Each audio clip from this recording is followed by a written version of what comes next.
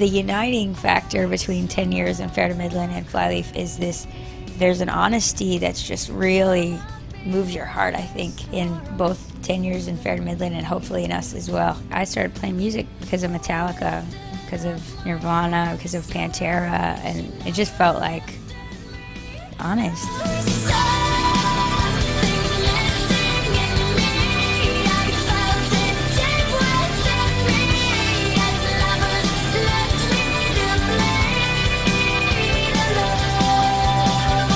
Just seems like every time we've ever done a video, it's been so rushed. We never get off the road almost. Like the whole first record, we never got off the road. So when we did a video, it was in, in the middle of a tour and it was for two days. And we were coming up with ideas, but we didn't get to think through. And I think with Memento Mori, we thought through from the time we decided the name of the album.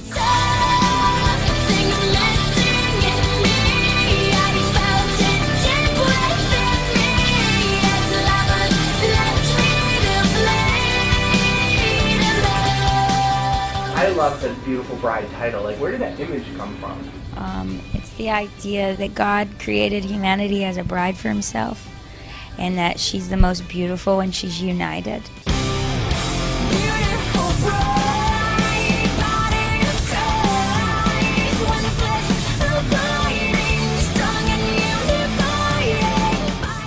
Kind of the idea with the Unite and Fight tour, actually, because um, in any relationship, you have to fight for unity. You have to fight for peace. You have to fight for, you know, and it, usually it's an inner battle.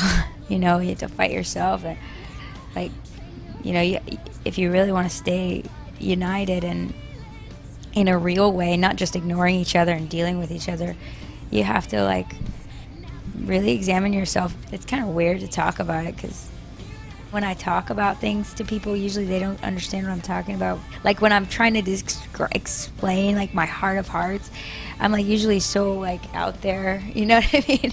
They're like, "What are you trying to say?" you know, and I realize, you know, a lot of that stuff is just better in a song.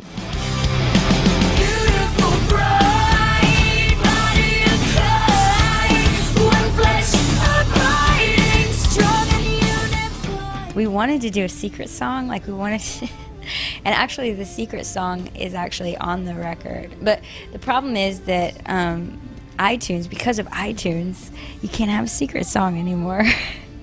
I mean they won't let you. I mean it has to be exactly the same record you put out physically the hard copy. It has to be the same thing you get on itunes. So when we wanted to put the secret song on the record they were like well it has to be its own track you know what i mean so I guess this is like the new like way that music is going where CDs aren't the same. You know, maybe real music lovers would sit down and buy a CD and listen to it first to last, you know. But a lot of people don't do that anymore. They just get on iTunes and get the songs they like. You know, when I first heard a secret song and when I listened to a CD front to back and felt a story, that was really amazing to me. And I remember thinking, wouldn't it be awesome to be able to express my heart this way in a, on a full length CD? And so I'm like, we're doing it.